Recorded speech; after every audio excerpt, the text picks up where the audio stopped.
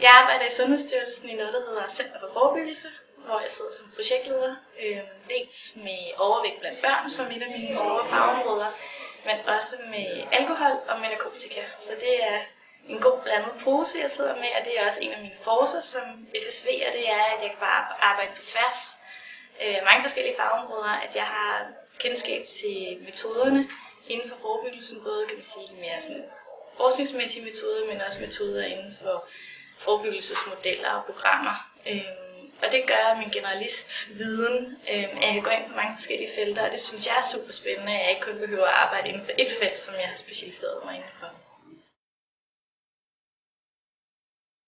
Du lærer både, kan man sige, det statistiske, øh, mere som metodiske grundlag, men du lærer også lige så meget om sundhedsøkonomi, og det er lidt mere blevet socialmedicin. Øh, det er en rigtig, rigtig spændende uddannelse, og det er en uddannelse, som giver ufattelig mange forskellige karrieremuligheder. Jeg valgte at starte på øh, FSV, fordi at jeg øh, synes, forebyggelse og sundhedsfremme var noget af det mest spændende, man kunne beskæftige sig med. Jeg startede egentlig på at læse medicin.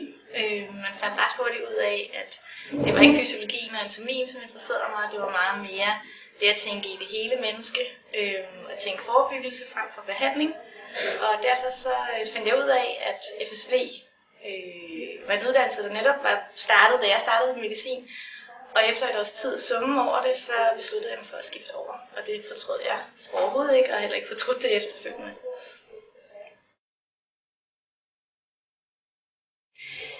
LSV giver rigtig mange forskellige karrieremuligheder. Jeg arbejder selv i Sundhedsstyrelsen, det vil sige på staten og det offentlige, hvor der sker rigtig meget på forebyggelsesområdet lige nu.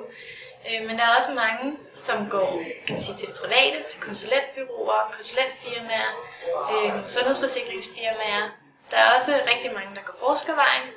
Det lærer vi jo også en del metoder om på studiet, både det statistiske, epidemiologiske, men også det kvalitative metode.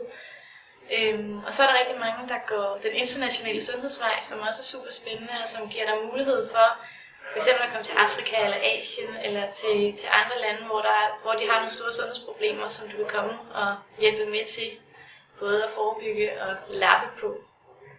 Øhm, generelt så er min oplevelse, at vi er meget, meget eftertragtede som FSV-kandidat. Her i Sundhedsstyrelsen, hvor jeg arbejder, er vi blevet næsten 20 FSV'ere, som, som arbejder her. Og generelt så er udmeldingen fra vores chefer, at de synes, at vi er, kan noget helt, helt specielt, øhm, og gerne vil have flere af os.